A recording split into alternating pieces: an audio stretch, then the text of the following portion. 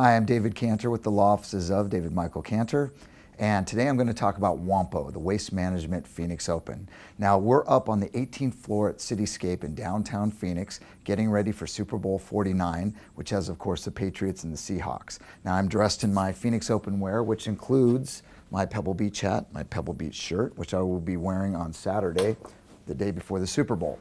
Now, what I'm going to talk to you about today is if you go out to the Waste Management Phoenix Open, make sure that if you drive, you plan on having a ride home if you drink. That means a taxi, an Uber, or if you go over to Zipps, I love Zipps, you can go there, eat food, drink, pay 10 bucks, and they will shuttle you to the open and back. Now, once you get back, leave your car in their parking lot, they'll watch it for you, take an Uber home, and then pick it up the next day or a cab.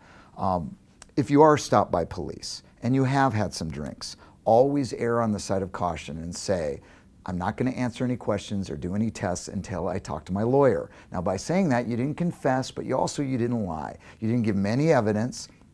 And if you are charged and it comes to trial, all the officer can say is, well, I pulled over Mr. Jones, he smelled of alcohol, had watery bloodshot eyes, and then I arrested him. He's not allowed to mention that you invoked your right to counsel. So the jury sits there and goes, My God, you didn't even ask if this person had anything to drink. You just arrested them.